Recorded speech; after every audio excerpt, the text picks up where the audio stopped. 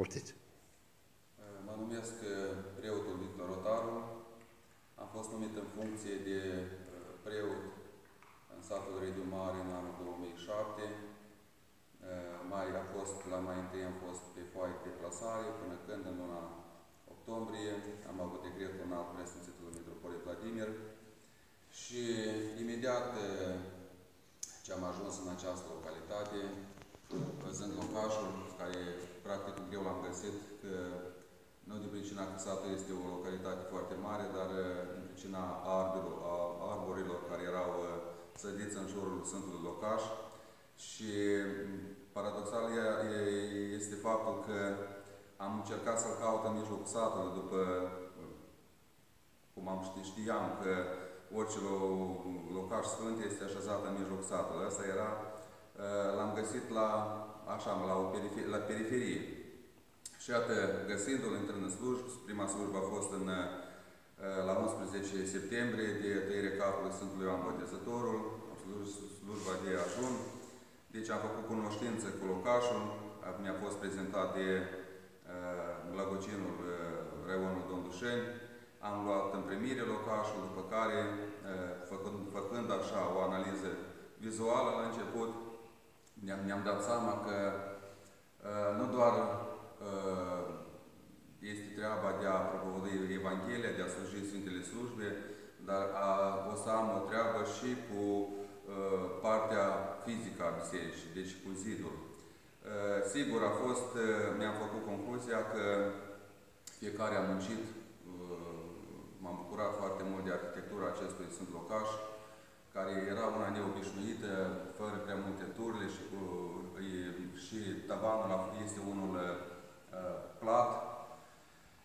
Uh, ceea ce a fost la început de muncit a fost fiindcă uh, ferestrele erau foarte într-o stare cu de sticlă, erau de lemn și mi-am dat seama că iarna este în față și nu voi rezista pur și simplu ca om fizic la slujbele care îmi stau în această perioadă în față.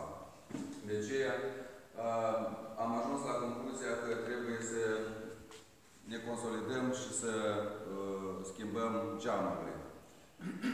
Sigur, s-a am rugat enoriașii care m-am bucurat la început, erau destul de uh, mulți, uh, fie din din perspectiva curiozității, ca să vadă cine a venit, ce va face. Sigur, încet, încetul această, uh, această mulțime s-a stins și am revenit la starea uh, inițială. Deci uh, erau așa, număr mediu, uh, care uh, au fost foarte receptivi, au căzut de acord, fiindcă le-am argumentat, mai bătea, mai era un curent așa prin uh, biserică și unele uh, sticle cam sunau când uh, bătea un vânt mai, mai puternic. Și sigur, lumea a fost de acord. Personal uh, mi-am luat doi consilieri, doi oameni, care au fost ca martori și am mers în localitate ca să colectăm bani, ca să schimbăm geamurile, fiindcă era necesar. Am păstrat anume stilul vechi al geamurilor, deci nu am intervenit cu nimic, de aceeași formă a fost geamurile, s-a respectat uh, arhitectura zidului uh, și uh, practic în noiembrie am schimbat geamurile. După aceasta, deci cu aceasta s-a terminat în anul respectiv lucrările. Deci paralel munceam și la zidirea Bisericii Vii, deci a oamenilor, a la rugăciunile Sfintei Slujbe, după care, deci, încercam să intervenim și cu anumite lucruri în Biserica de Piatră. Uh, ceea ce s-a mai târziu am încercat să uh, intervenim, fiindcă aici în interior uh, a fost o, un model de tencuială care a provocat o ciuparcă în zid și, deci, respectiv, prezenta și un miros care nu era cam bine plăcut. Uh, m-am uh, uh, sfătuit cu anumiți experți în domeniu care ne-au sugerat că, uite, ca să scap de ea, cam trebuie să facem lucrare foarte amplă. Și, sigur, îmi stătea în față o, o lucrare foarte mare, fiindcă, să vă spun sincer, ne-am dat seama de lucrare abia când s-a realizat. Deci eram tânări, energici, cu multe idei, cu multe visuri, spunem așa, care uh, au rămas uh, uh, foarte uneori uh, și în plasa deznădejde, că uite cum voi finisa, dar în schimb, Dumnezeu nu ne-a lăsat nici aici. Deci Maica Domnului este uh, patroana noastră, pentru că și uh, hramul bisericii este în cinstea uh, nașterii Maicii Domnului, care este o zi de sărbătoare pentru între întreaga localitate, deci 21 septembrie. Uh, ceea ce este specific, ceea ce am pornit, să spun că la uh, această lucrare imensă, deci a trebuit să ne consolidăm mult mai mult, pentru că s-au făcut investiții foarte și foarte mari, cu toate că localitatea este una mică după numărul populației, Uh, dar am recurs la ceea că, uite, trebuie să facem. Trebuie să facem, pentru că facem o lucrare care nu ne aparține doar nouă, dar trebuie să rămână, cum spunea și uh, Marele Voievod Ștefan Mare, urmașilor, urmașilor noștri. Și a trebuit să dăm toată tempuiala, inclusiv până la piatră, deci a rămas zidul gol, deci dezvelit, care uh, ne-a mirat de, iarăși, de arhitectura timpului, cum oamenii au construit, fără uh, ciment, fără diferite uh, lucruri care le avem la ora actuală, uh, am dat totul gol și ni s-a propus să facem o tempoială după anume această arhitectura bisericii, care a fost în toate timpurile, și să aplicăm barne, zip și cânipă. Deci cânipă tehnică, care a fost tăiată mărunt, a fost făcut mortar, s-a aplicat un strat, a doilea, a treilea, după care s-a finisat. Și deci ni s-a argumentat că dacă punem varul în acest mortar, atunci el are rolul de dezinfectant și atunci ciuparca nu poate să dezvolte. Și această lucrare, iată, s-a făcut deja în anul 2009, mai târziu. După care s-au schimbat ușile din interior-exterior, s-a făcut uh, podeaua, fiindcă erau niște pliți imense de piatră care uh, s-au lăsat, deci prezenta interiorul uh, care avea un, un fund, așa, o lăsătură și nu știam ce, ce trebuie de făcut. Iarăși a, a presupus foarte multă, multă muncă, care respectiv am, am avut-o cu susținerea enoriașilor, s-a implicat foarte mult și Uh, autoritățile locale care ne-au sprijinit fiecare dată și la rugămintea mea n-au rămas indiferență, indiferent ea chiar și doamna primară actuală, domnul primar, doamna primară, doamna Galina Lache, care și ea, ei a contribuit uh, prin sprijinul uh, consilierilor și de aceea a fost, am avut un sprijin destul de suficient din partea lor, cu toate că lucrările și cheltuielile erau mult mai... Am avut sprijin din toate părțile, și enoriașilor locali, și a celor care erau plecați, și cel, inclusiv și până în prezent celor care sunt peste hotare. Deci lumea totuși are un respect față de Dumnezeu, față de casa lui Dumnezeu și cu toate că poate la anumite elemente de relație directă cu Dumnezeu este de, de lucru. Dar ă, la apelul meu, deci lumea a fost ă, receptivă și s-a realizat cu ajutorul lui Dumnezeu și a oamenilor de bună credință, lucruri mari și frumoase care rămân, ă, sper eu să rămână în istorie și să rămână, sunt zidite spre slava lui Dumnezeu. La moment, deci anul trecut, am realizat, fiindcă și uh, uh, acoperișul bisericii, care era uh, unul care ne crea anumite probleme și la partea zidului.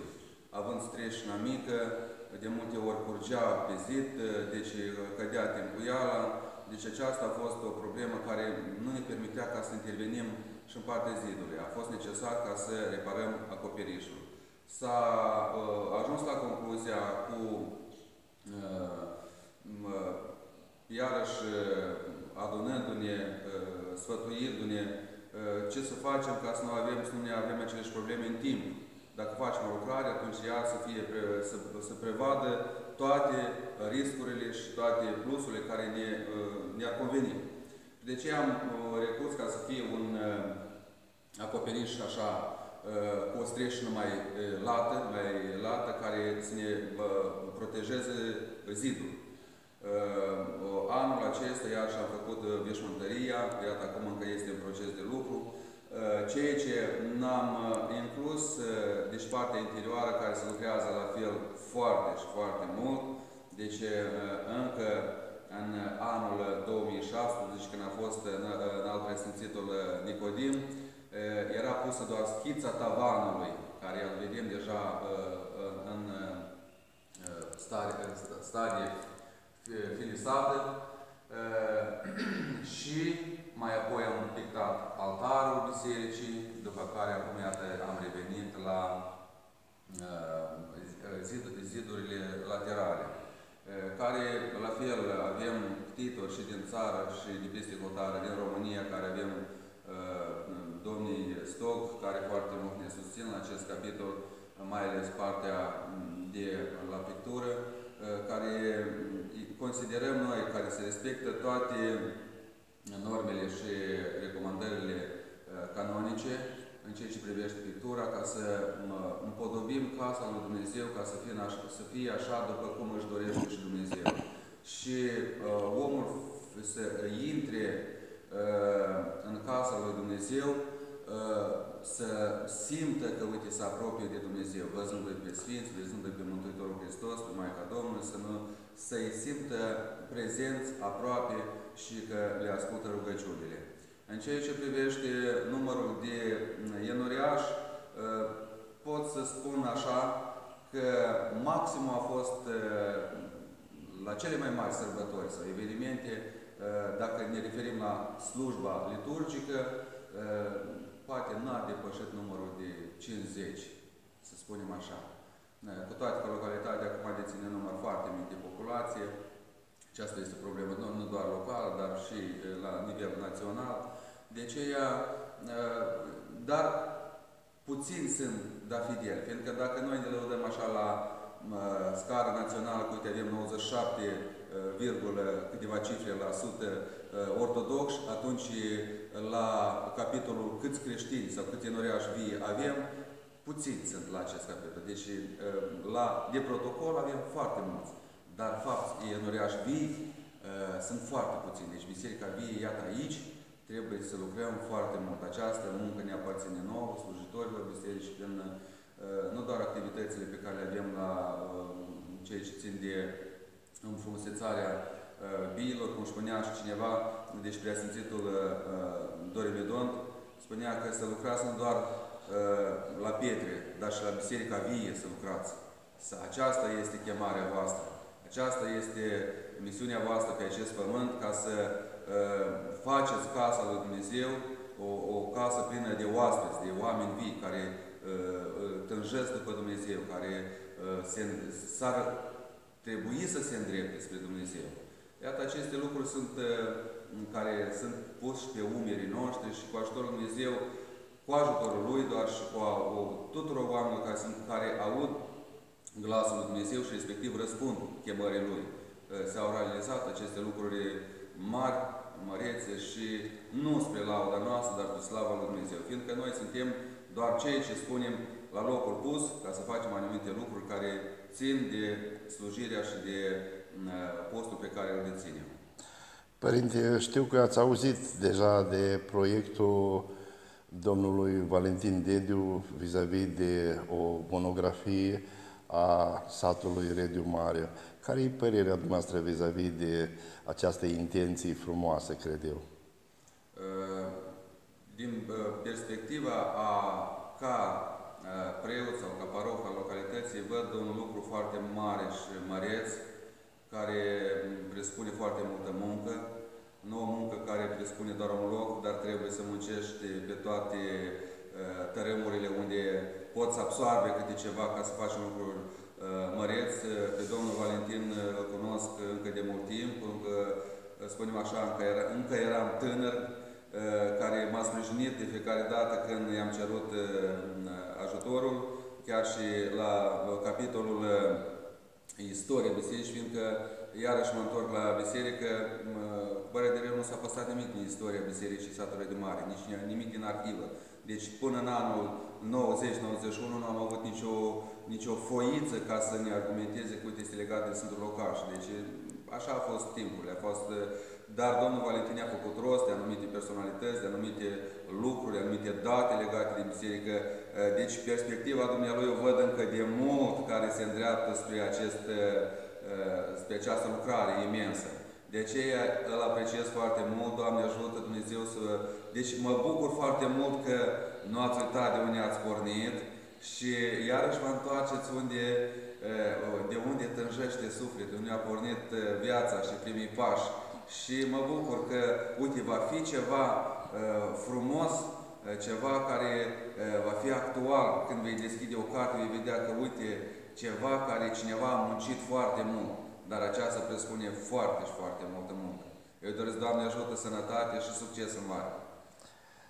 Vă mulțumim din toată inima și pentru faptul că ați găsit timp ca să ne acordați acest interviu și, Doamne ajute, la lucrările de mai departe, fiindcă mai aveți încă mult de lucru și probabil și Uh, care cer nu numai investiții bănești, dar cer și efort fizic uh, din partea enuriașilor și a specialiștilor. Plus la asta aș fi vrut să vă întreb uh, numele celui care se ocupă cu pictura murală a bisericii, fiindcă știu că pentru acest lucru trebuie să fii specialiști ca, cu autorizații din partea metropoliei, adică nu fiecare poate nu fiecare pictor poate să facă acest lucru. Uh, domnul uh, Valeriu Chifiac provine din, din uh, localitatea Bălăsnești, raionul Briceni. A, a terminat, spunem așa, sau această școală sau, spunem, instituție, această facultate Universitatea Ioan Cuza din Iași, facultatea uh, anume Patrimoniu, deci pictură, uh, și dumnealui, iată, din 2017, muncește la această biserică uh, cu timp și fără timp. Chiar fiind în lipsă, muncește la domiciliu, creează anumite proiecte, anumite lucrări care vine și și-a asumat responsabilitatea ca să dea în primire, în primul rând, lui Dumnezeu, această bijuterie, care este o carte de vizită a localității noastre. Și iată, Dumnealui este cel care muncește foarte mult aici. Încă, dacă noi mai permitem, el încă urcă sus de dimineață și vine chiar de multe ori îl invit pe la orele 10, hai Valeriu, că deja e târziu, trebuie să odihnești picioarele, să odihnești mâinile, vederea este Uh, niște simțuri care sunt foarte ginga și care trebuie protejate și trebuie să... Uh, deci uh, sunt foarte recunoscător Dumnealui și contez foarte mult pe Harul lui Dumnezeu care lucrează pe mâna, pe mâna și la Dumnealui. Plecăciune în fața dumneavoastră și realizări frumoase pe viitor. Doamne ajută și dumneavoastră.